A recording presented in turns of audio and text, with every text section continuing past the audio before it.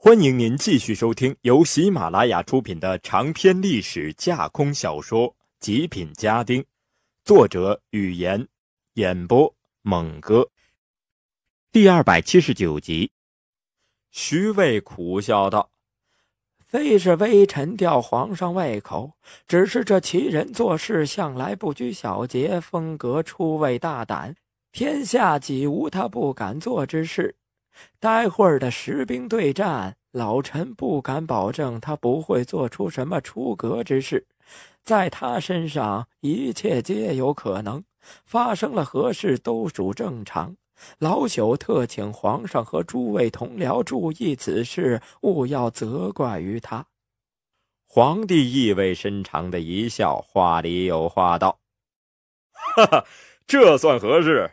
凡是其人，必有其行。”今日实兵之战，既是贴近于实战，便无不能之事，处处都有意外。不管他有何作为，朕都赦他无罪。皇帝似乎对这奇人甚感兴趣，话一说完，便迫不及待地靠近了墙边，向远方眺望起来。那远处约有一千多兵丁，兵强马壮，气势雄伟。皇帝微微遥望了一阵，指着那阵中一人道：“徐爱卿，那阵中的白袍小将，便是你说的无名英雄市井奇人吗？”“呃，白袍小将。”徐渭也是一愣，什么时候多了个穿白袍子的？他急急跟到皇帝身前，向远处望去。只见那新开来的军中，一片土黄色的盔甲中，却有一人披着一件白色的披风来回奔走，气势凛凛，很是拉风。虽然看不清那人的相貌，但看那骚包的样子，不用猜就知道是谁了。好一个白袍小将林三儿！徐渭深深一笑，心中越发的期待起来。你知道你的对手是谁吗？徐小姐见林三儿气势非凡，心中也是微微一震，旋即问道：“这是一场遭遇战，对手是谁并不重要，我相信我手下的弟兄们。”林婉容大义凛然地说道，旋即却是神奇地变出了一个笑脸儿：“哎，徐小姐，这话你可不要当真啊！”啊，这就是场面上的话，走走过场，喊喊口号而已。呃，对面那家伙是谁呀？如此不知死活，他气势变了又变，叫人看不明白。徐小姐心中好笑，不上战场还真不知道是谁不知死活呢。对面那位，是皇上前些时日派到李将军帐中做副将的辅佐将军，我也是昨日初见。说起来，你也认识。徐芷晴神秘一笑，道：“我也认识。”林婉容好奇道：“不会真的是那个什什么状元吧？”徐芷晴点点头道：“正是苏状元。你可不要小看了他，他熟读兵书，阵法娴熟，胸中有万千丘壑。近些时日在军中操练的阵型有模有样，李将军也赞他练阵有方。真的是苏状元？靠！”那家伙还真有两把刷子，玩了笔杆子，玩枪杆子，简直就是文武全才呀！林婉容微微一笑，道：“嘿 嘿，谢徐小姐提供这样重要的信息。呃，不过她遇上我，那就是她倒霉了。我林三在山东打仗的时候，手下弟兄们送我一个绰号，叫做‘心有千千结，日用万万套’。哈，呃，日用万万套这几个字儿，你懂吗，徐小姐？”徐芷晴见他脸上笑得淫荡，就知准不是什么好话，美目嗔他一眼，便当作没听见他的话般略过了。请将军训示。胡不归走过来，大声道：“林婉容点点头，瞥了自己身上一眼，手下弟兄们都穿得威风凛凛了，他的行头还没置办整齐呢。你不用穿盔甲吗？”见林三儿手下兵马集合齐全，却唯有他这统帅一身便装，没个正经。徐志晴忍不住眉头一皱，轻声问道：“ 嘿嘿，我没有盔甲。”林婉容嘻嘻一笑，转身喝道：“徐震，取我战袍来！”得令。许振催马上前，勒住马缰，双手恭敬送上一套行头。徐小姐略扫一眼，却见是一件白色的披风和一件不知从哪里找来的破羽毛扇。林婉容将那披风套上，轻轻一抖，便刷刷作响，甚是威风。她手执羽毛小扇，微微摇了两下，一副仙风道骨的模样。徐小姐，你看我这身行头怎么样？是像常山之龙、诸葛之亮啊，还是应梦贤臣啊？什么常山之龙、诸葛之亮、应梦贤臣？徐小姐微一摇头，这人说话古里古怪，叫人听不懂。林婉容肤色本就是甚黑，这一身白袍小将打扮，却是眉毡上附了点点白雪，望着甚是显眼。徐芷晴忍住笑道：“你准备好了吗？”嗨。林婉容这才想起，这个世界没有赵云和诸葛亮，更没有说唐传和薛仁贵，自然没人认出这身行头。难怪方才嘱咐许震去办的时候，他一副摸不着头脑的样子。妈的，老子本来还准备上演一场白袍小将与应梦贤臣的好戏。这下却成了笑柄，这作秀太他妈失败了。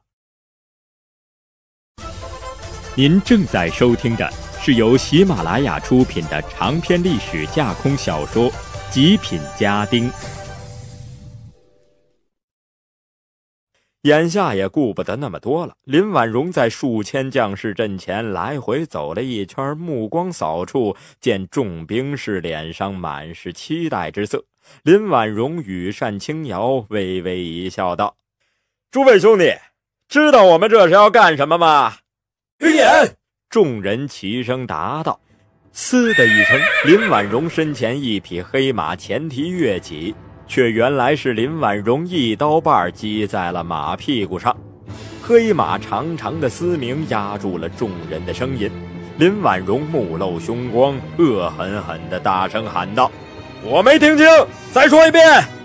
闭眼！众人又是一起喝道：“嘶”的又是一阵惊鸣，接着一股血光升起，冲起数丈来高。嘶鸣声戛然而止，那战马的头颅与身体刹那分开，却是林将军手起刀落，见了血气。演习，这是演习吗？林婉容手持长刀，刀尖上滴滴血渍顺序滴下。他双目赤红，杀气腾腾道：“军人的字典里找不到演习两个字，这是战争，是你死我活，明白吗？”见了血光、经历了血战的老兵瞬间惊醒，浑身血液沸腾，顿时明白了林将军的意思。林婉容目光平缓，面无表情道。我再问一次，我们要做什么？你死我活！众人长刀出鞘，一股惊天的杀气瞬间迸发而出。林婉容身后的杜修元几人看得心惊胆颤，推演如石冰虽是没错，可这毕竟是演习，要照林将军这个打法，那是真的要拼起来呀。唯有胡不归和李武灵看得心旷神怡。李武灵浑身热血沸腾，大叫道：“打他奶奶的！”